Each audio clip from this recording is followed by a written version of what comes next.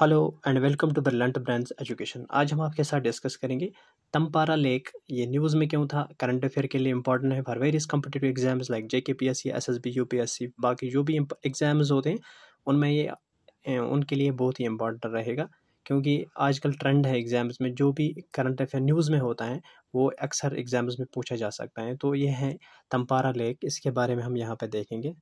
Tampara lake Tampara lake. तो ये किस स्टेट में है? तो ये है उड़ीसा स्टेट में। पहले आपको ये याद रखना है। उड़ीसा स्टेट में है तंपारा लेक और ये एक रामसर साइड भी है।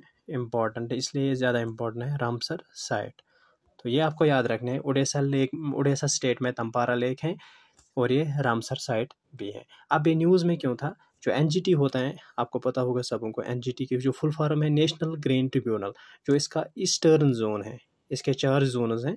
जो मैन सिटिंग प्रिंसिपल सिटिंग होते हैं, वो न्यू दिल्ली में होते हैं, जो ईस्टर्न जोन है इसका, उन्होंने डायरेक्ट किया है उड़ीसा गवर्नमेंट को कि आप जो इलीगल कंस्ट्रक्शन वो रोके not to go ahead with illegal construction in and around Tampara lake इसलिए ये न्यूज़ में था।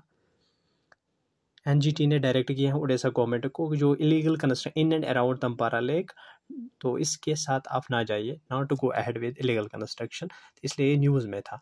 अब हम देखेंगे तंपारा लेक के बारे में थोड़ा सा और जो तंपारा लेक है, ये एक लार्जेस्ट फ्रेश वाटर लेक है in states of उडे Orissa largest fresh water lake in state of Orissa state Orissa में ये लार्जेस्ट फ्रेश वाटर लेक है तंपारा लेक तो ये आपको याद रखना, एक पॉइंट ये है, और नेक्स्ट पॉइंट है, ये एक ब्यूटीफुल लेक है नियर बाय चिल्का नियर जो चिल्का लैगून है, चिल्का लेक उसके नियर बाय है ये।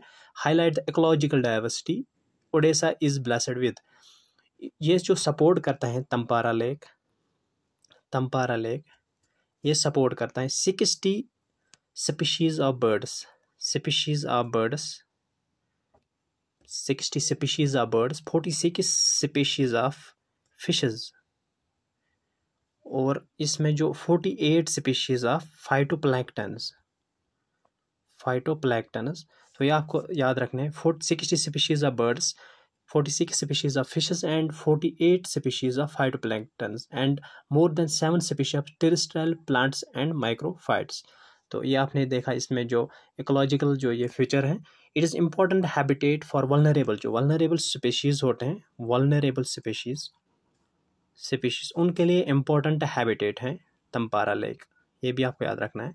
तंपारा लेक एक इंपॉर्टेंट हैबिटेट है for vulnerable species such as cyprinus जो कॉपियो है, उसके लिए कॉमन पोचर्ड कॉमन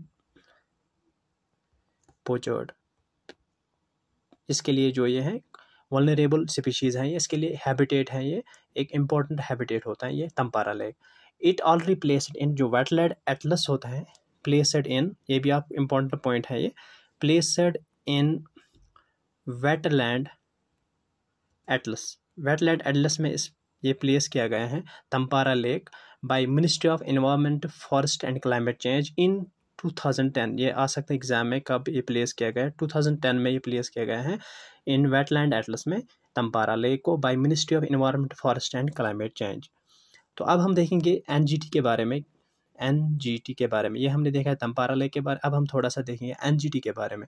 जो एन है, ये इस्टेब्लिश हुआ है इस्टेब्लिश हुआ है by an act NGT act 2010 में।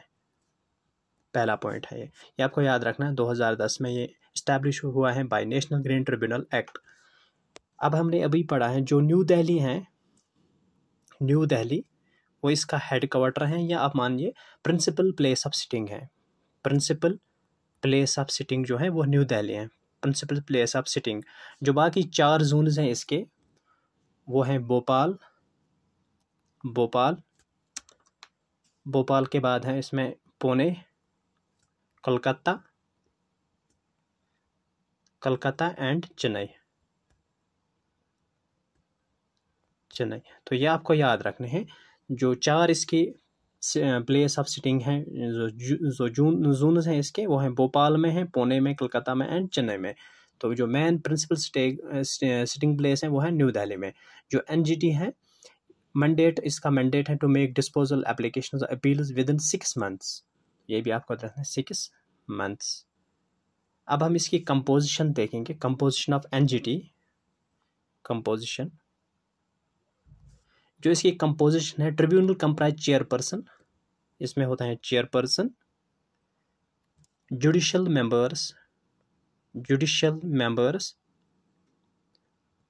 and expert members and expert members ये होती हैं इसकी जो कंपोजिशन होती हैं चेयरपर्सन होता है इसमें चेयरपर्सन होता है जुडिशल मेंबर्स होते हैं एक्सपर्ट मेंबर्स होते हैं इसमें एनजीटी में।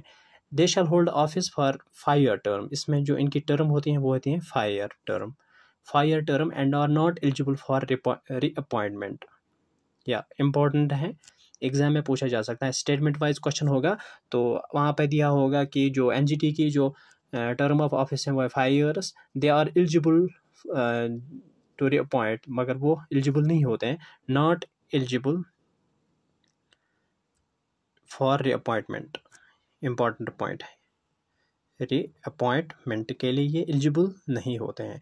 The chairperson is appoint by central government जो चेयरपर्सन होता है इसका, वो अपॉइंट किया जाता है बाय सेंट्रल गवर्नमेंट चेयरपर्सन को अपॉइंट करते हैं central government in consultation with chief justice of India chief justice of India से कंसल्टेशन के बाद इसको अपॉइंट किया किया जाता है जो चेयरपर्सन होते हैं। Selection committee shall be formed by the central government to appoint judicial members and फिर जो सिलेक्शन कमेटी होती है अपॉइंट की, की जाती हैं बाय फॉर्म बाय जो सेंट्रल गवर्नमेंट उसको बनाता है to appoint judicial members and expert judicial members and expert members and expert members इनको किया जाता है फिर appoint there are be at least 10 and a maximum 20 full-time judicial members 10 at least 10 at least 10 members a maximum 20 maximum होना चाहिए इसमें। Maximum twenty full time judicial members full time judicial members and expert members judicial and expert members in the tribunal तो ये था आज का video Tampara lake के बारे में और एनजीटी के जो एनजीटी नेशनल ग्रीन ट्रिब्यूनल है उसके बारे में भी थोड़ा हमने जाना इस वीडियो में। तो आज के लिए इतना ही। Thank you very much for watching this video